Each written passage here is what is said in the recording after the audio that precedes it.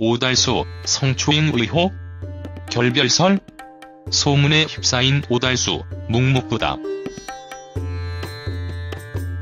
소문에 휩싸인 배우 오달수가 침묵 중이다.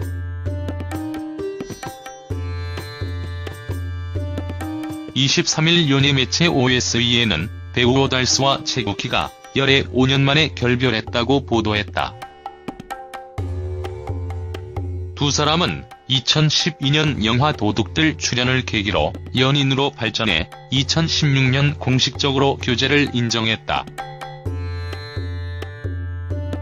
하지만 결별설에 대한 오달수 측의 확인은 불가했다. 현재 소속사 스타빌리지 엔터테인먼트 측은 연락을 받지 않고 어떠한 입장도 내놓지 않고 있다.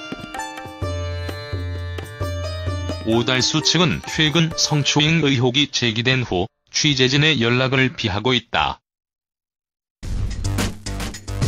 오달수가 출연하는 tvN 드라마 나의 아저씨 측 또한 오달수 측과 연락이 닿지 않아 입장을 기다리고 있는 것으로 알려졌다. 지난 15일 익명의 누리꾼이 이윤택 성추행 논란 기사에 90년대 부산 한 소극장에서 어린 여자 후배들을 은밀히 상습적 성추행하던 연극배우 이연출가가 데리고 있던 배우 중 한 명.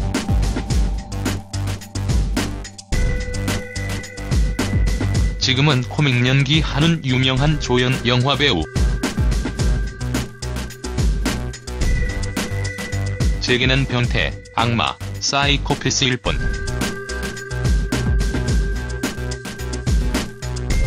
저는 끔찍한 짓을 당하고 이후 그 충격으로 20여 년간 고통받았으며 정신과 치료를 받고 있다. 그 뻔뻔함.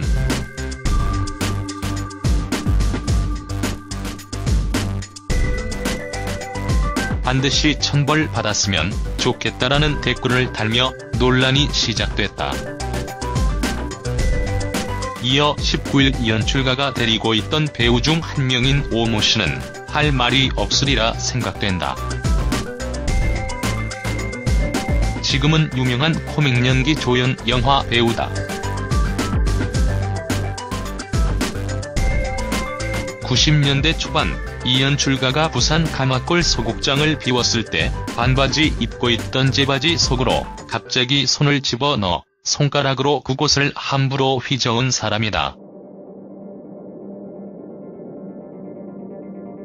똑바로 쳐다보면서